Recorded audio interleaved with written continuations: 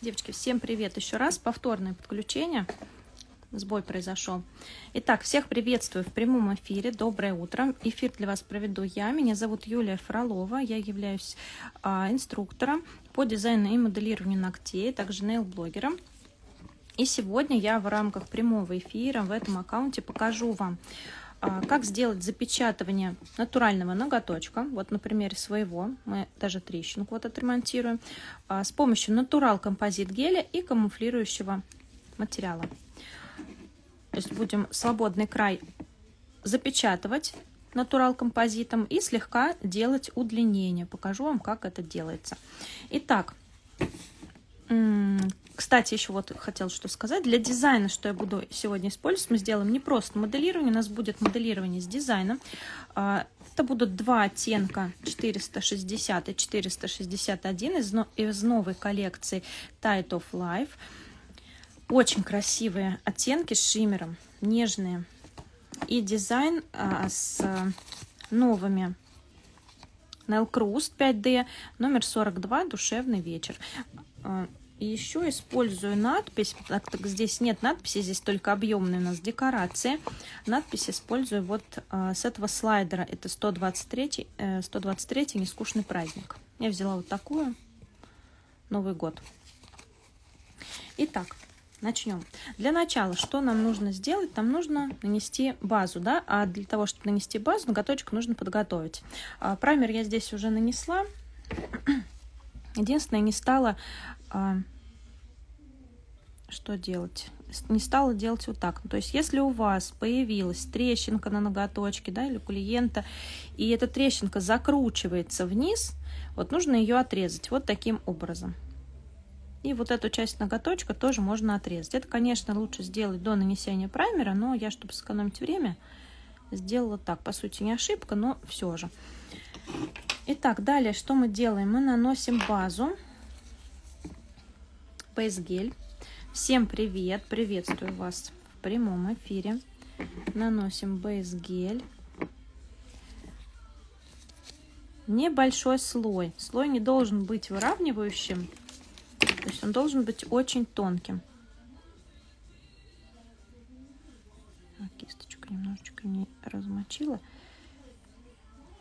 Так, наносим на всю поверхность ногтя.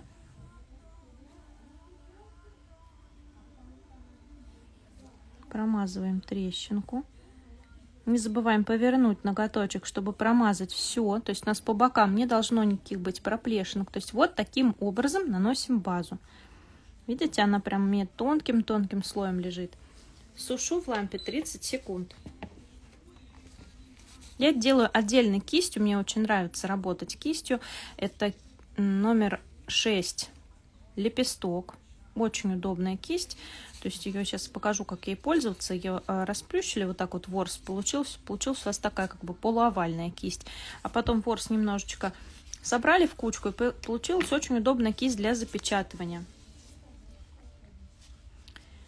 Так, ну и далее мы будем делать запечатывание с Natural Composite Gel.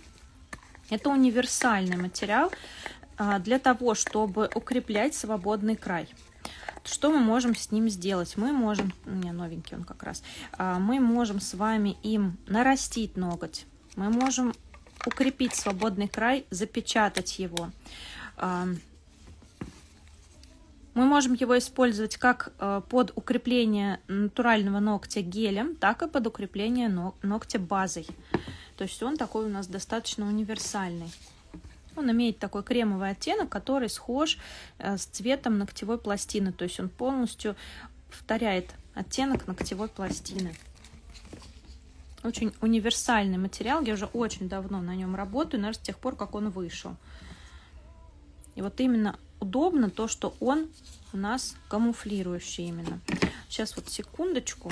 Мне нужно кисть немножечко сделать эластичной. Она у меня полежала какое-то время и слегка заполимеризовалась. Хотя лежала в футляре. Но такое бывает, не страшно. Вот сейчас капнула топ-слайдер и размягчила ворс кисти. Такое происходит. Кисти полежали пару дней и все.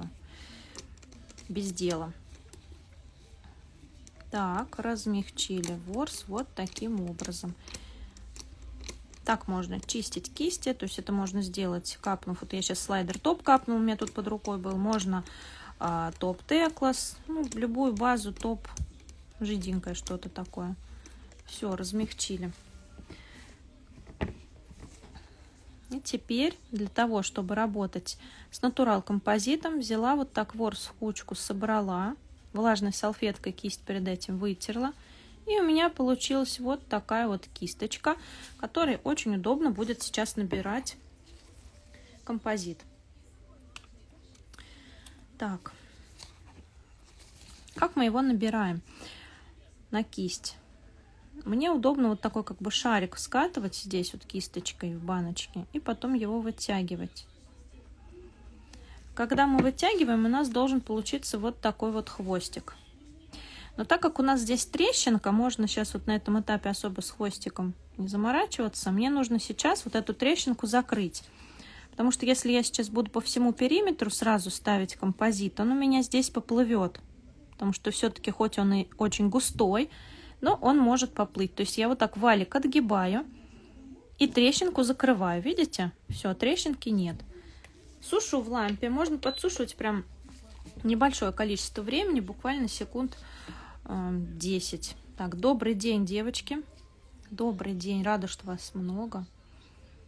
Всем добрый день. Так, пока подсушивается, еще раз набираю на кисть. Сильно долго вот так вот накручивать нельзя. Почему? Потому что э, когда мы очень долго э, крутим гель на кисть, он разогревается и становится жидким. А когда он жидкий, работать им уже неудобно поэтому не нужно его разогревать. Нужно работать густым. Итак, вот такой хвостик сделали. Хвостик. Можно, конечно, и побольше хвостик сделать. Итак, откуда мы идем? Мы идем от вростов. То есть во врост мы встаем хвостиком. И по периметру свободного края раскладываем натурал композит. Теперь вот как вы видите, я лишнее с кисти убираю. Убираю. И э, вытягиваю в свободный край, свожу на нет. Ой, во врост. Свожу на нет. Итак, вот в таком виде я оставляю ноготочек и сушу. То есть первый слой я поставила и сушу. А если вы не хотите длину, например, увеличивать, вы можете оставить так. Так, здравствуйте, сама училась в ЭМИ, мне очень понравилось, э, понравился этот композит гель. Да, он классный, вообще материал очень крутой и универсальный. Ногти носятся с ним просто замечательно. И свободный край держит тоже он очень хорошо. Особенно вот с короткими ногтями удобно работать. Да? Если с очень длинными мы можем с вами э, воспользоваться акригелем. А с э, композитом очень удобно работать с короткими ногтями. Итак, вот такой хвостик я вытянула. Видите, здесь уже побольше материала. И когда мы ставим уже второй слой на удлинение, сейчас работаем, то э, нам уже будет работать гораздо легче.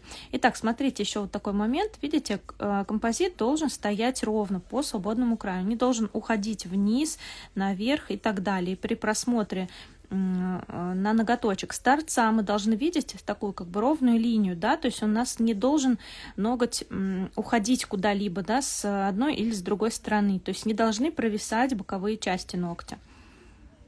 Далее, здесь во вросте у меня уже достаточное количество материала, так как я ремонтировала трещину. А, откуда я двигаюсь дальше? То есть форма у меня должна быть миндалевидная.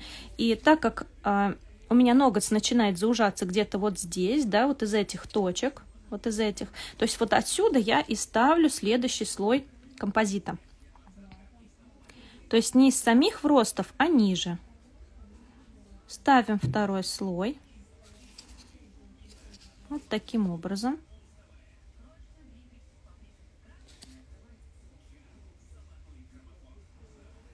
Я всегда, когда работаю на клиентах, стараюсь смоделировать ноготочек – сразу на готовность. Единственное, вот здесь я наверное, еще чуть-чуть вот материала бы добавила, чтобы у меня чуть поплотнее ноготочек был Видите, немножечко материал опустился, но мы смотрим сбоку, видим, да, что мы выстроили ровную линию. Если материал опустился, его можно так взять кисточкой снизу и подобрать. Хотя это не критично на этом этапе, потому что мы все равно будем э, ноготочек наш удлинять, да, и изнутри лишний материал мы выпилим. Оставляю так, сушу. Сушу. И добавим еще, наверное, последний, третий проход для того, чтобы удлинить свободный край. Материала уже набираем небольшое количество. Здесь хвостик уже э, вытягивать не обязательно. Но зачем нам этот хвостик нужен? Для того, чтобы было удобно вставлять э, материал во вросты, да, чтобы не было большого количества, чтобы у вас не образовывались потом там затеки и так далее. То есть вы э, поэтому делаете вот такой хвостик. Когда мы удлиняем, то тут уже, в принципе, он нам не нужен. Тут мы просто вот так вот прислоняемся аккуратненько. Тут же еще чуть ниже ставлю материал предыдущего э, прохода. То есть предыдущий проход я поставила ниже первого, да, второй проход композитом, а третий ставлю еще ниже, чтобы сразу у меня была видна форма форма должна читаться. Хотя, знаете, я бы, наверное, еще один добавила. Вот так. Вот так.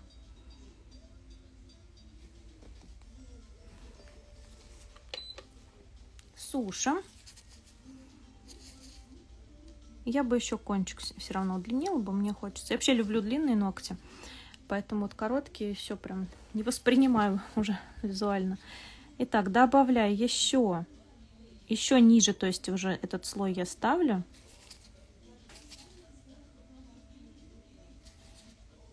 Вот таким образом.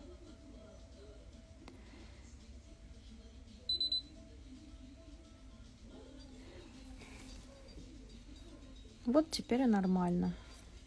То есть, если у вас, например, нужно вам выполнить легкое наращивание, но форму ставить вам либо неохота, либо ну, не умеете вы особо это делать, да, либо на верхних формах не работаете. То есть сейчас огромное количество есть способов удлинить ноготь, да, нарастить его. То есть можно воспользоваться вот таким старым добрым способом, который появился еще до того, как у нас э, распространились верхние формы. И очень актуально для мастеров, которые особо не наращивают, потому что такие тоже есть. Хотя наращивать нужно обязательно уметь.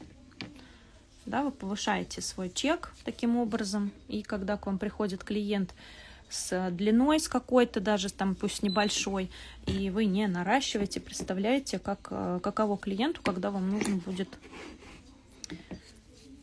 убрать остальные ногти, скажем так, да, под тот, который сломался. Итак, что мы делаем дальше? У нас образовалась здесь вот такая вот ямочка, да? А, когда мы будем ставить гель, она нам будет слегка мешать. Почему?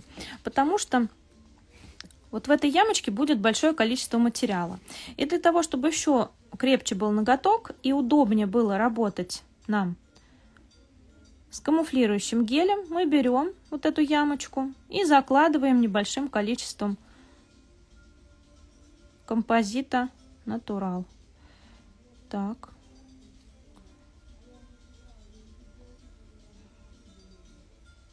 Так, как это будет выглядеть сбоку? Вот таким образом это будет выглядеть. Смотрите, ноготочек должен у вас получиться ровненьким. То есть не должен композит очень сильно уходить наверх. Видите, ровный ноготочек получается. То есть мы форму уже видим, да, форму толщину свободного края. Вот таким образом он должен выглядеть у нас. То есть, видите, заложили свободный край. По сути, нам вот этого количества материала хватит на два раза. То есть, если вы вот таким образом укрепили ноготь, клиентка у вас отходила с таким видом укрепления до следующей коррекции нормально, если она ничего не сломала, если нет никаких отслоек, со свободного края, хотя если вы будете правильно работать, правильно применять технику, их не будет. У меня никогда не было вот с, э, таких проблем с натурал композитом, правда, никогда. А, никогда не было отслойка свободного края. А, то, в принципе, вы можете убрать лишнюю длину, если это необходимо. И вот это количество материала у вас все равно останется на ногте, и вы можете просто мини-коррекцию уже потом сделать. То есть получается здесь на две коррекции хватит укрепления свободного края. Так, далее, далее что мы делаем? Мы укрепляем камуфляжем. Камуфляж можно взять любой, который у меня вот этот под рукой оказался, Soft Rose гель. Возьму его. Можно взять камуфлирующий гель, а, но так как у меня здесь будут вот такие оттенки стоять, да, один из них розоватый, такой, да, слегка, а, даже он тут, видите, как серым выглядит. Один серый, один зеленоватый. То есть можно вот для плотности цвета брать э, гели какие-то, я даже, знаете, возьму сейчас, наверное, Soft Iris. Вот этот возьму. Он сиреневый, он как раз холодный, он подойдет под эти оттенки. То есть гель э, моделирующий можно взять под цвет покрытие, которое вы будете использовать. Так будет цвет наноситься проще и в один слой, потому что сейчас большинство лаков, они наносятся в один слой, не очень плотно пигментированы. Ну, возьму вот этот, попробую с ним сделать. Он здесь такой насыщенный, но на ногтях он менее насыщенный.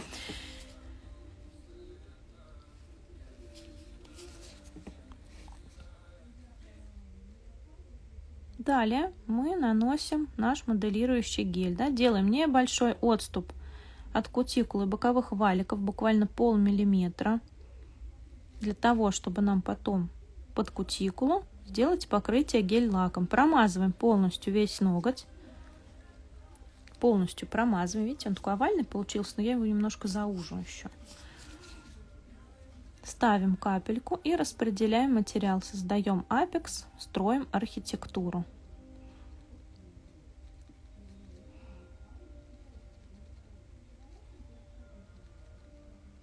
Я ставлю посередине шарик и вот сбоку на бок вот так его растягиваю, не нажимая на середину этого шарика, то есть как бы растягиваю его края. Сейчас я сцентрую.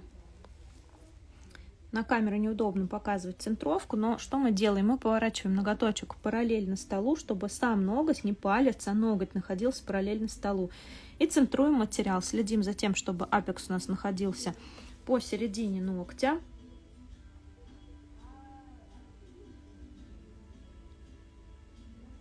И если нужно, помогаем кистью. Сейчас немножечко вот уведу в другую сторону. Отлично. Отлично вроде бы. Угу. Сейчас подсушу и вам покажу, а то материал убежит. Да, гель, композит, натурал – это просто чудо. То есть, э, так как у нас будет полное покрытие, мы можем с вами моделирование выполнять любыми цветами да? Даже, например, есть у вас какой-то не очень ходовой гель, вы можете его под полное покрытие всегда использовать. Итак, смотрите, поставила гель, тоже материал выкладываю на готовность, так, чтобы было меньше пилить. По сути, у меня вот в этой части ногтя, да, вообще пилить нечего, мне только в свободный край поправить и изнутри лишний материал убрать. Итак, сушу материал переставлю фрезу. Девочки, есть какие-то на этом этапе у вас вопросы? Пока я сушу, я могу ответить. Так, не получится у меня одной рукой переставить фрезу, ну ладно. И для дизайна я уже заготовила декорации. Две штуки вырезала. Хотела одну сначала, но думаю, ладно, скучно будет с одной. И положила их вот так на влажную салфеточку чтобы они у меня во время, ну, за время, пока я буду вам показывать моделирование, уже размокли. Так, привет, кто присоединяется, девчонки. Так, далее что мы делаем? Нам нужно будет обезжирить ногтевую пластину и опилить. Опил здесь будет минимальный, так как я материал выложила максимально точно максимально точно выложен материал, поэтому пилить здесь практически нечего. Обезжириваем. И делаем небольшой опил. Вот с этой стороны, видите, многовато, да? Ну, это сейчас уйдет. Открываем толщину свободного края по всему периметру. От роста до торца. Так как в рост мы тоже с вами укрепляли, особо в них не нажимаем пилкой, чтобы не снести композит. Приблизительно наметили форму. Далее убираем натеки и проходимся по поверхности свободного края пилкой. Очень аккуратно двигаю спилкой от себя, чтобы у меня получилась вот такая вот ровненькая площадочка. За счет этого свободный край будет визуально выглядеть максимально тонким, но при этом он будет очень прочным.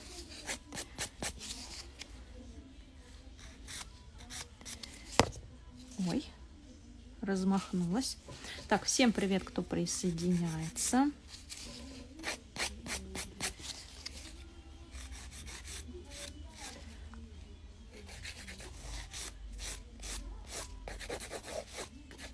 Проверю ровность.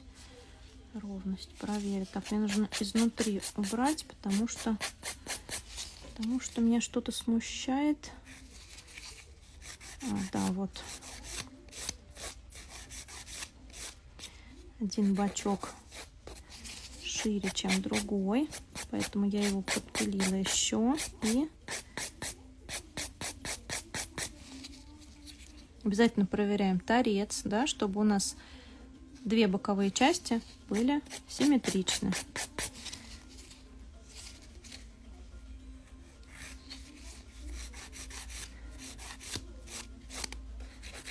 Друг другу.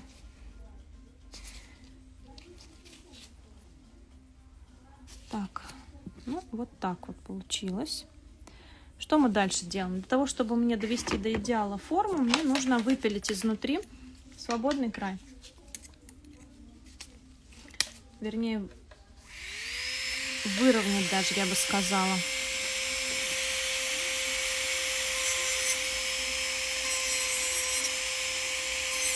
Лишнее убираем. Если клюет, да, поднимаем. То есть и поднять можно натурал композитом, не только нарастить, удлинить и укрепить. Убираем, чтобы у нас получилась такая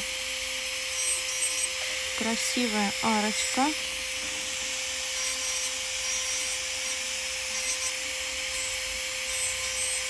Выглаживаем. Вот такая вот красивая арочка у нас получается. Тоненький свободный край. Теперь я пилкой еще раз пройдусь. И после опила всегда вот здесь проверяем, проходимся пилкой, потому что у нас же здесь трещинка была, да?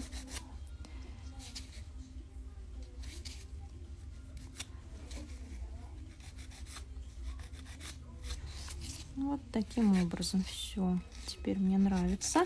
Потому что иногда, когда у нас снизу очень много материала, это начинает смущать. Кажется, что форма поехала, ногти, да, что он какой-то неровный и так далее. Поэтому нужно обязательно изнутри лишнее убрать и потом уже допилить.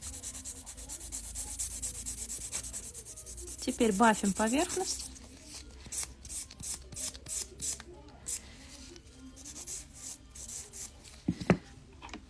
Обезжириваем.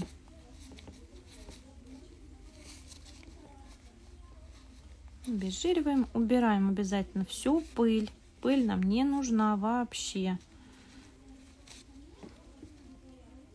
Получается вот такой красивый небольшой ноготочек. Итак, теперь мы переходим с вами к дизайну. Я хочу вам показать градиент двумя гель-лаками. 461 оттенок. Он такой серо-зеленый какой-то, с очень красивым шиммером, светоотраж... со светоотражающими частицами. Очень красивый оттенок. И второй оттенок, это вот такой пыльный, такой серо-розовый, что ли, оттенок тоже с светоотражающим шиммером. Мы сейчас с вами сделаем с ними градиент. Хочу сказать, что градиент такими оттенками будет делаться прям, ну, очень-очень легко и быстро. Честно, я еще их не выкрашивала. поэтому я не могу сказать, как, а, какая плотность этих оттенков. Вот сейчас прям на себе попробую. Итак, внизу у меня будет стоять оттенок номер 461. 461. Я наношу его, да, полупрозрачный, нужно будет в два слоя нанести. Я его наношу не полностью на ноготь, не полностью. Так, и вот здесь вот образовался натек, я его убираю, убираю его. Да, прикольно будет смотреться. Вот таким образом наношу, то есть не до конца сушу в лампе.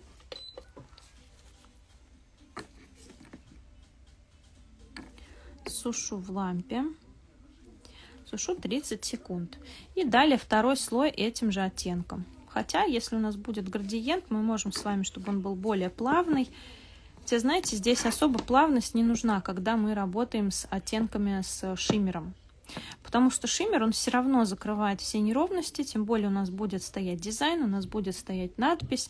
Особо там не нужна никакая плавность перехода. Тем более шиммер, он все это закроет.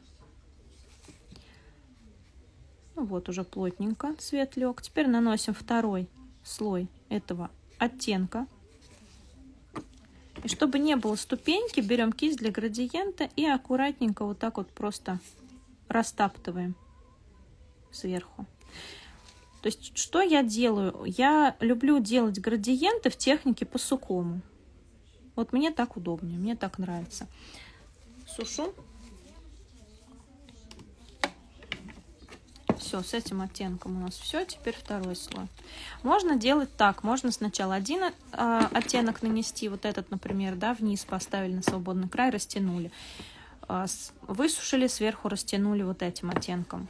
И так два раза повторяем, да, чтобы была плотность цвета. Можно сделать по мокрому, кому как нравится. Мне кажется, градиент это такая вещь, которую мы делаем в удобной для нас технике. Нужно всегда выбирать для себя, неважно, да, с чем вы работаете, моделирование это у вас сейчас идет, да, или еще что-то, дизайн и так далее. Техники должны для вас быть, лично для вас, максимально удобными и понятными. Если техника непонятна, не получается, может быть, просто это не ваша техника, нужно попробовать что-то другое, каким-то другим способом выполнить тот или иной этап работы. Это максимально удобно должно быть. Далее. Вот, смотрите, этот оттенок у нас очень классно дружит с камуфляжем, поэтому второй слой я здесь наносить вообще не буду. Да, наношу вот такой вот плотненький слой лака, такой плотненький, с небольшой горочкой. Далее я беру линейную кисть, линейную кисть беру, немножечко ее вот Набираю на нее материал, и мне нужно поставить под кутикулу, да. Еще плюс в этом, вот почему я говорила, что камуфляж можно брать тот, который будет совпадать с вашим покрытием по цвету. Смотрите, этот совпадает, и что у нас получается, какой эффект? У нас получается эффект такой, что при отрастании особой границу будет не видно, потому что этот гель-лак, он полупрозрачный, и он очень классно камуфлирует вот эту границу. Сейчас даже вижу, что камера не передает его вот оттенок.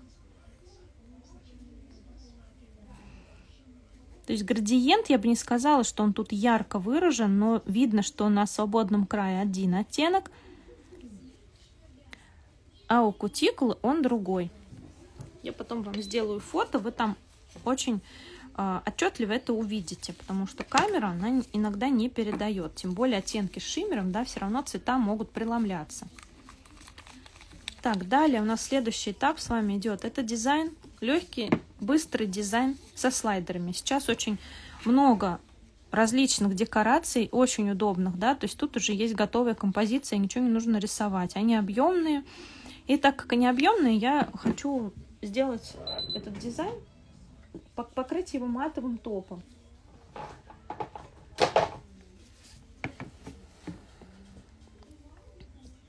Вот такой получился градиент. Видите? Он плавный.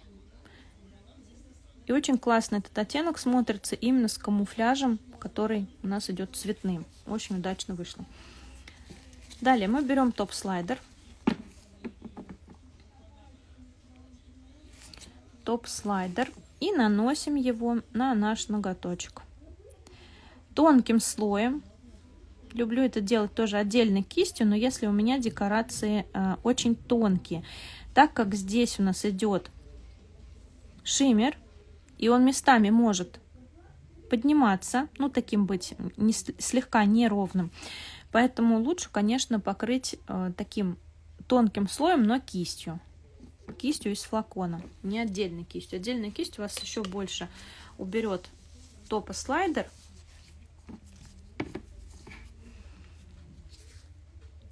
И не выровняет. То есть нужно, нужно сделать здесь легкое выравнивание. И далее мы начинаем ставить декорации. Так как у меня есть надпись, я начинаю с нее. Она тонкая, и плоская. Объемные декорации всегда нужно ставить э, верхним слоем. То есть нижний слой у нас идет именно то, что тоненькое. Снежинки, например, какие-то это могут быть. Но здесь они не нужны, у нас здесь блестки. Блестки, они сами по себе, если у вас покрытие такое, да, блестящее, они сами по себе очень активные.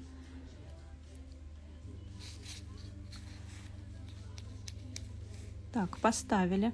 Вот за что не люблю короткие ногти? За то, что на них, на них не установишь нужное количество декораций. Вот я заготовила две, но у меня здесь, наверное, и две не поместятся. Сейчас вот я посмотрю, как будет лучше. Листьями вниз, листьями вверх. Вот всегда кручу и смотрю, как будет декорация смотреться. Листьями вниз вот мне не очень нравится, когда ягода сверху. Придется какой-то листик подрезать. Жалко. Вот короткие ногти, вот их минус.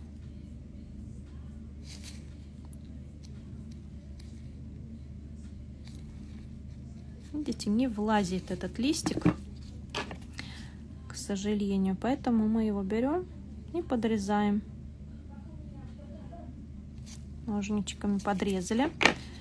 Почему сейчас? Потому что нужно обязательно такие вещи делать до просушки, если у вас декор находится под кутикулой. Вообще около кожи. Потому что если вы э, не обрежете и будете обрезать потом, то у вас вот здесь вот в изгибе будет отслойка материала, декорации самой. И она не приклеится как следует. Поэтому оставляем вот так. Отрезаем и сушим. Сушить нужно обязательно. Обязательно. Для того, чтобы остаточная липкость топа слайдера сполимеризовалась с пленкой от слайдера. Тогда будет крепление максимально прочное. Слайдер перестанет у вас ездить по поверхности и приклеится как следует. Обязательно, когда работаете с объемными декорациями, э, не отрезайте их очень близко к краю, для того, чтобы по краям осталась пленочка, чтобы у вас приклеилась декорация очень хорошо.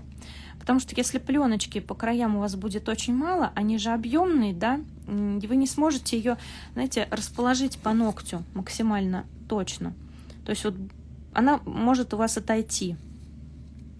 Тоже, конечно, такое бывает, особенно когда они очень объемные, бывает, что отходит. Но если сейчас это произойдет, я вам покажу, как это убрать.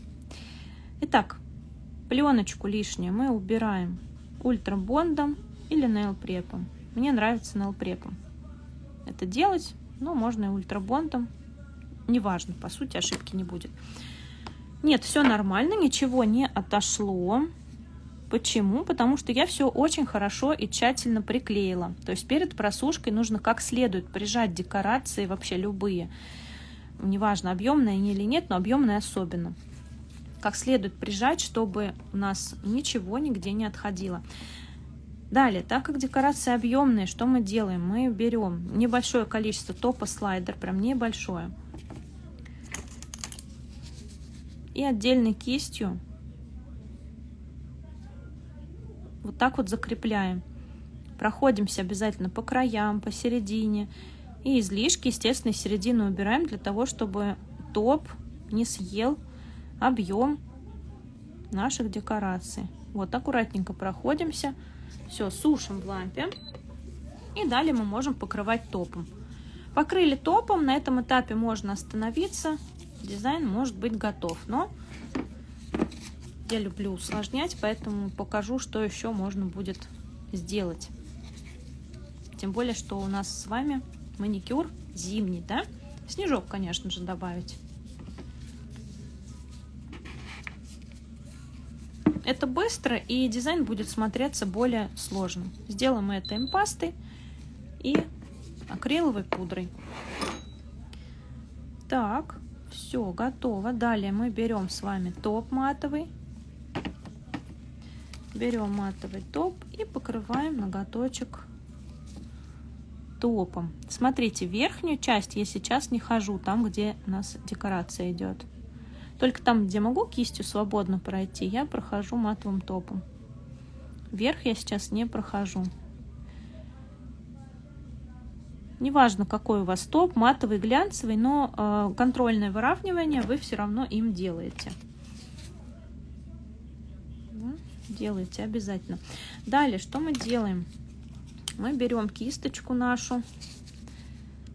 Здесь топа нет сейчас, да? Вот мы берем лишнее количество из декорации и переносим его вот сюда, вверх, верхнюю часть, там, где мы кистью не достали. И излишки топа мы убираем с наших ягодок.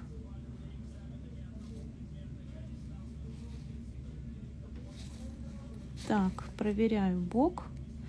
Вроде бы все нанесла, вроде бы топом везде прошла. Поверхность выровняла, видите? Выровняла. Все, можно сушить.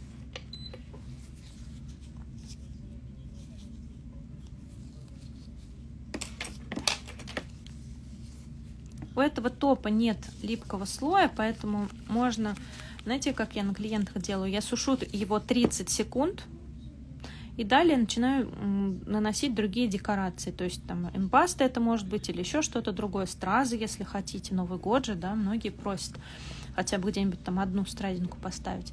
Вот, и я 30 секунд сушу и начинаю с другими декорациями работать. Смотрите, как классно смотрится под матовым топом. Вообще совершенно другой вид. Добавим чуть-чуть снежка, хотя по сути это все уже, да, видите, дизайн смотрится законченным. Но все-таки у нас зима. Давайте добавим немножко зимы. Пасту нужно слегка разогреть. Белый рафинат. Импаста белый рафинат. И прям немножечко, немножечко хочется мне добавить снежка. Чуть-чуточку. Знаете, чтобы вот рельефности такой, что ли, добавить сюда. Можно вот сюда вот на ягодку вот. Вот так вот, прям немножечко. Можно вот сюда вот так вот.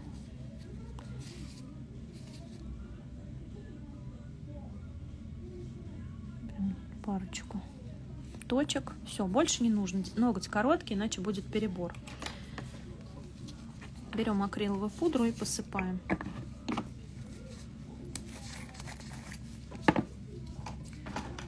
Посыпаем акриловой пудрой. Стараюсь делать это над баночкой, чтобы у меня лишнее никуда не просыпалось.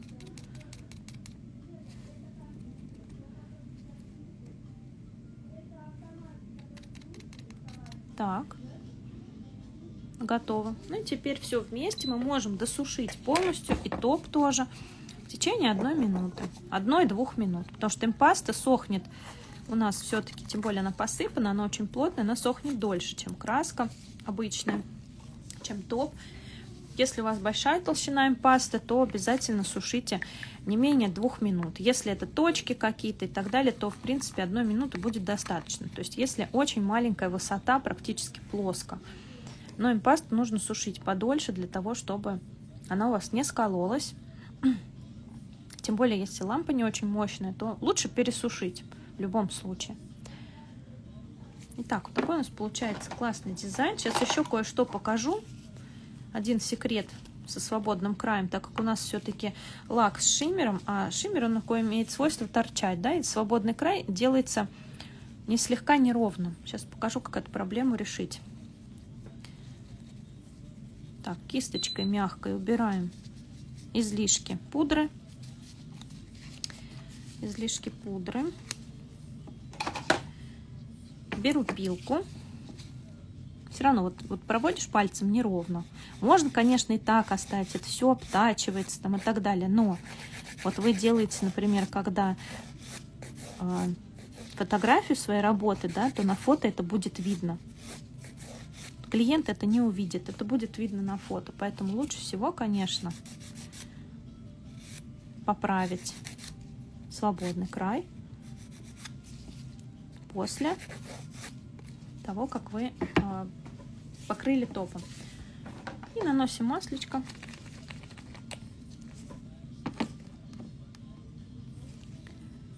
Если, например, у нас э, матовый топ с липким слоем, я сначала покрываю все ногти маслом, кутикулу, ну не ногти маслом, то я что-то оговорилась прям, а, кутикулу маслом мажу и потом липкий слой убираю.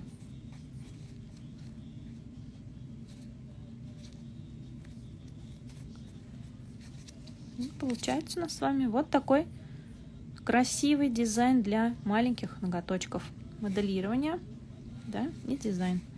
Так, что-то меня тут как-то это, ну ладно. С этой стороны покажу. Так, сбоку. Кутикула, да, дизайн у нас под кутикулу, покрытие под кутикулу. Свободный край ровный, градиент видно, заметно. Кстати, обратите внимание, что вот этот оттенок, да, он такой слегка такой зеленоватый, и листочки такого же оттенка. листочки я как раз развернула на а, сиреневый оттенок, чтобы был такой контраст, чтобы их было видно. Итак, наш ноготочек готов. Буду рада вашим отработкам. Делитесь в сторис, отмечайте меня, аккаунт э, мой как автора, аккаунт основной. Так, что-то зависло, буду сохранять эфир. Так, девочки, всем спасибо за то, что присутствовали, за то, что были в эфире. Всем пока!